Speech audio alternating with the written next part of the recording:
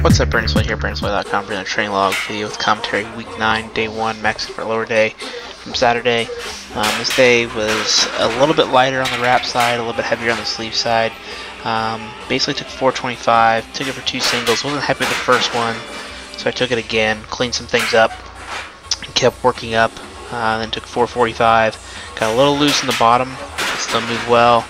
Um, so then I took 465, um, did a little bit better, um, still got a little bit shifty in the bottom, but that's a 5 pound PR in sleeves for me. I never really test my sleeve squat, so I shut it down there.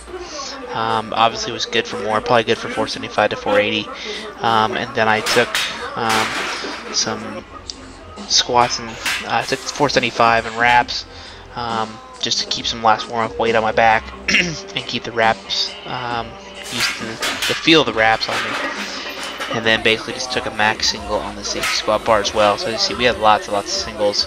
Um, the idea was just to keep pushing me, um, heavier weights, and focus on grinding, but being specific towards my needs, and um, but still not handling in the 500 pound range um, to give me a little bit of break before I would bench the next following day, which was my heaviest bench day. So the idea was to try to still keep my squat progressing because it's doing a really good job, but uh, at the same time, uh, kind of keep some of the loads down from what I had been because I'd been well over into the 500s multiple times, and then the week before, obviously, I took 550. So um, you know, it's kind of a big contrast, but that's the idea is going to buy a little, break, a little bit of a break and a rest um, because in the following weekend I'll take my opener again around 490, 490, plus 495 on the bar, um, and make sure that's still good to go.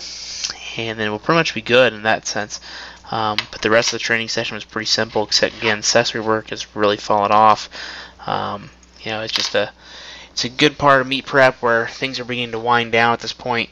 Um, just got to do some of the little things right and make sure I peak good. But um, the way things have felt, I felt great. So um, a really good week of training. Thanks for checking in. Keep my stuff over at elitefts.com.